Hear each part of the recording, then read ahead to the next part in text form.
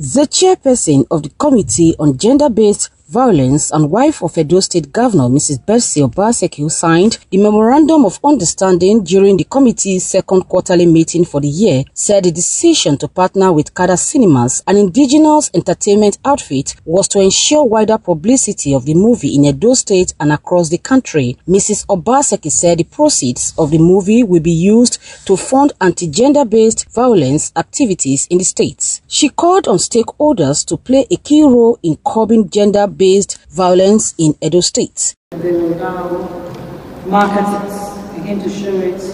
Uh, they've spoken to us about the number of platforms they have. I want to be sure that they have enough platforms, not just showcasing it in Benin City or just in Edo State.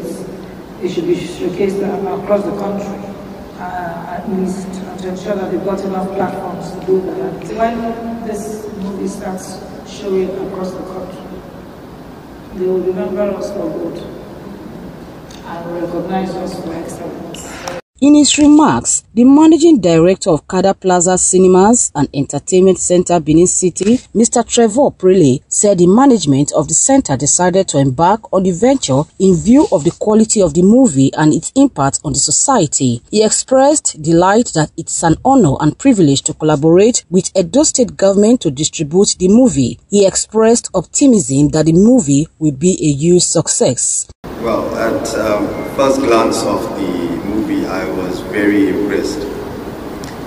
And I saw huge potential as to how this could be used, uh, not just for viewing pleasure in the cinema, but also for sensitization and uh, taking it nationwide. Um, so we have a lot of marketing plans in place, um, and we want to actually get this out to be screened.